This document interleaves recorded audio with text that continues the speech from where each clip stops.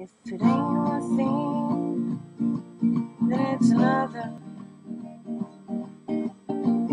That's why I prepare like no other. You don't have to be scared. All you need to do is just prepare. Hey, this is David the Shepherd School, and once you've got uh, there in the picture is some sumac berries. And so what we're going to do is we're going to make some sumac lemonade, okay? And uh, just a second, I'll cut to a video of uh, me picking some sumac out on the side of the road. Now, staghorn sumac, um, basically there's all sorts of sumacs and they're all over North America and Africa and Asia. They're all over the place. But anyway, uh, most all of them can be used to make this this uh, lemonade.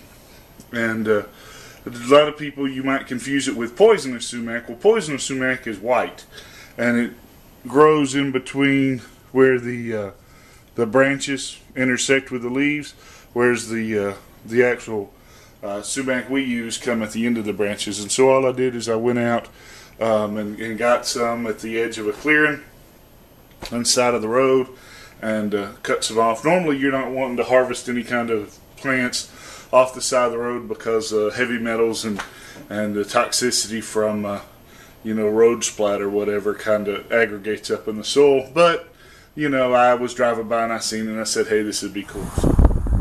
Okay, here's some uh, sumac.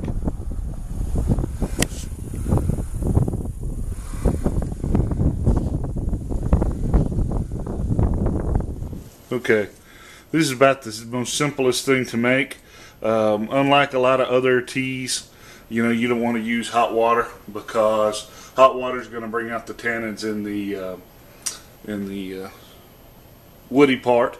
Okay, so you want to use cold water, and you also want to um, get as much berry and cut off as much plant matter as you can. So we're just going to kind of break the berries off. And we're just going to do that till we fill this up, okay? And it's it's a little oily. It's a little oily, a little sticky, and that's okay because that's what you're wanting to get. So I'm going to crush a bunch of these up. You, when we get it full, we'll kind of crush it up a little bit. Then we'll come back to the next step. All right, there's our colander full of uh, of the berries, just in a uh,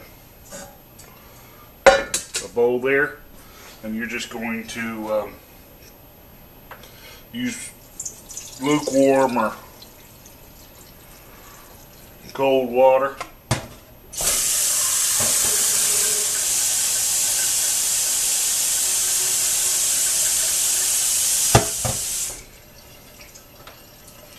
and kind of bruise them up a little bit.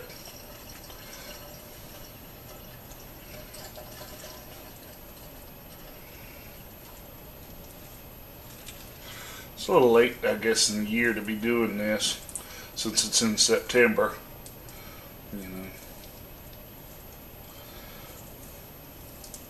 August is probably a little better, but uh, you can try different strengths throughout the year.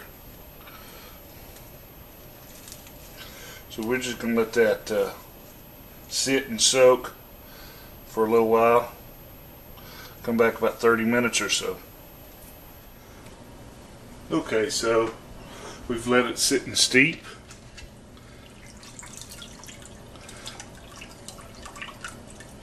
And now we've got a nice lemonade kind of tart. It's got citric acid in it. So now we're just going to uh, strain.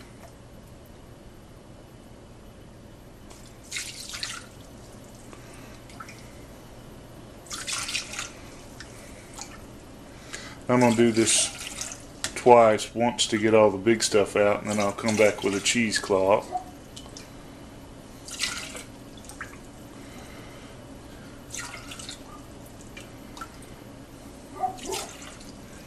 Now this is drinkable as it is, you know, once it's strained.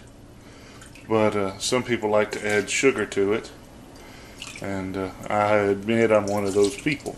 So I'm going to strain this out. And then we'll come back and uh, put some sugar in it.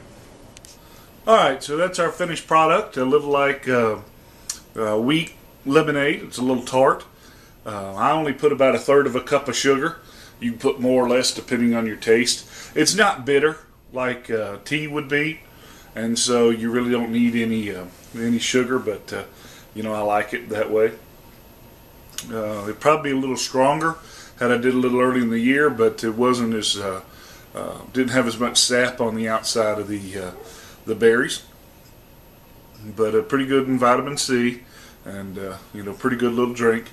I've heard that it makes some really good wine but if you're going to make wine, you're going to have to add a lot more sugar to it than just a third of a cup. Um, so, you know, it's a pretty easy project, pretty easy to do, but I have to warn you, if you're going to go out into the wild and, and, and pull up and eat vegetation, you better do more than just look at a YouTube video. You better get you a good plant identification book with some good uh, pictures. So, because I'd hate for you to poison yourself. But uh, that's all there is to it. And until next time, you can always catch us online at www.tngun.com. I've got a plan, fits my point of view. I'm